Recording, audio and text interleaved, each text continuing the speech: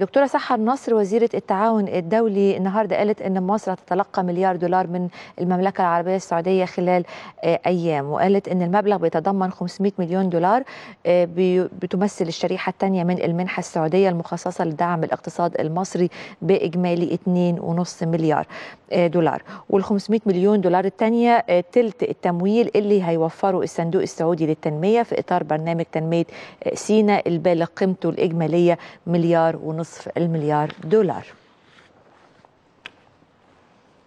توجيهات الرئيس عبد الفتاح السيسي أن يكون عام 2016 عام الشباب ودعم مشروعاتهم وقعت وزيرة التعاون الدولي الدكتورة سحر نصر بروتوكولا مع صندوق الأوبك للتنمية الدولية أفيد لدعم المشروعات الصغيرة والمتوسطة والمتناهية الصغر من خلال قرض يقدر قيمته ب 40 مليون دولار.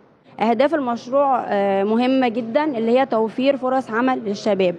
وده يعني إن إحنا يعني المبادرة بتاعت سيادة الرئيس الجمهوريه اللي هي إحنا إعلان سنة 2016 سنة شباب وهو التركيز على المبادرة اللي هي مساندة المشاريع الصغيرة والمتوسطه ليه؟ لأن هي اللي هتوفر فرص عمل في الفترة القادمة. هذه الاتفاقيه التي وقعناها اليوم لها أهمية خاصة لأنها تتعلق ببناء الطاقات البشرية وحفز الجمهور أو عامة الشعب على الحقيقة القيام بمبادرات شخصية بدلا من الاعتماد على غيرهم. صندوق التنمية الاجتماعي كان له دور كبير أيضا في دعم مشروعات الشباب والفئات الأكثر احتياجا وجعلهم طاقات بناءة تدعم الاقتصاد المصري لا سيما أنه يوفر الآلاف من فرص العمل.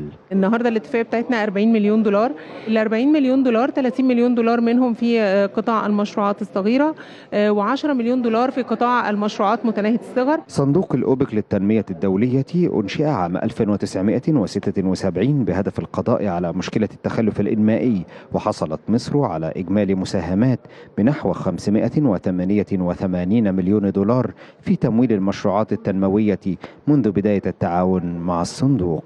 جهود حثيثة من الحكومة لدعم الشباب والفئات المهمشة والأكثر احتياجا في الاستفادة من المشروعات الصغيرة والمتناهية الصغر وبناء طاقات جديدة من الشباب تساهم في دفع عجلة الاقتصاد المصري.